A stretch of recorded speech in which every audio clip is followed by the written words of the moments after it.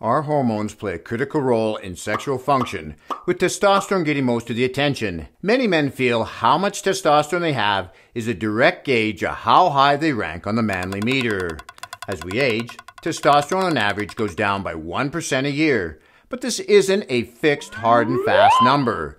We can keep going hard and fast as we age by making the right lifestyle decisions. There's research in the Healthy Man study that found no decrease in serum testosterone associated with age among men over 40 who are in very good or excellent health. Today we're going to focus on functional hypogonadism, which is when our testes produce very little testosterone, but it's still reversible. By optimizing our hormones, our testosterone will go up like a thermometer on a hot summer day, so we can continue to have the most amazing sex ever. How do you know if your testosterone or other hormones are out of whack?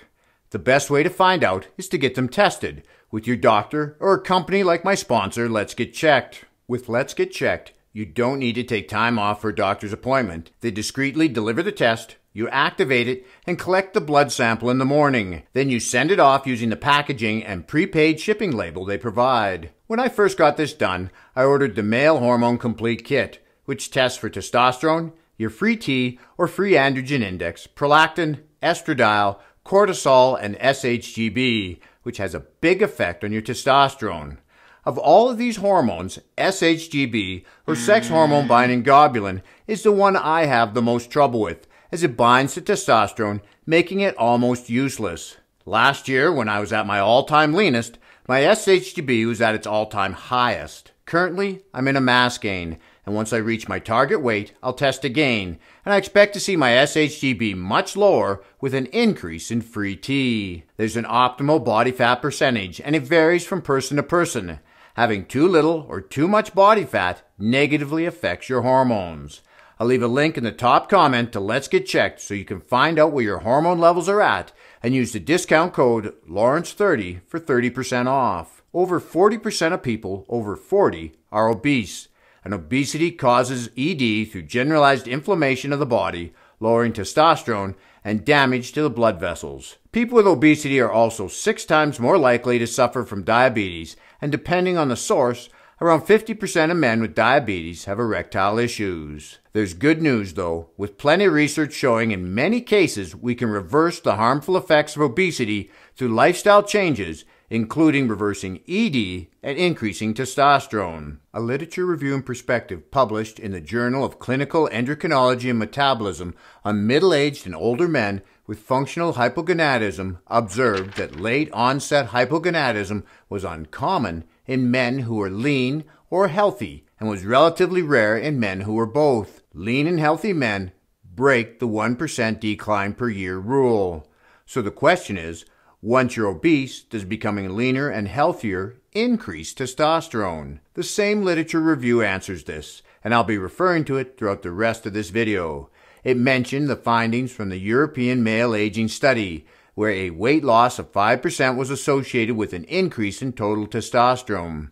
A loss of 15% was associated with more marked increases in both total and free testosterone. Weight loss has also been shown to improve erectile function in relatively healthy, obese, middle aged men, with a 15% reduction in body fat, increasing the mean international index of erectile function score by 3.1 which is clinically meaningful. The connection between weight loss and testosterone is so strong that one should consider they may be suffering from organic hypogonadism if their testosterone level does not increase with weight loss, and this needs to be treated with TRT. Low T is associated with inactivity in older men and conditions like sarcopenia, reduced bone mass, and metabolic syndrome.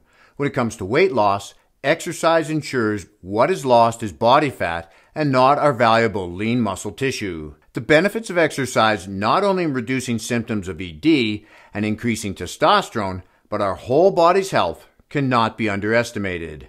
I've gone in depth in other videos on how we can use exercise to improve blood flow and strengthen our bodies, improving erectile function. Obstructive sleep apnea is associated with low testosterone, and a CPAP machine has been shown to improve erectile dysfunction and reduce fatigue.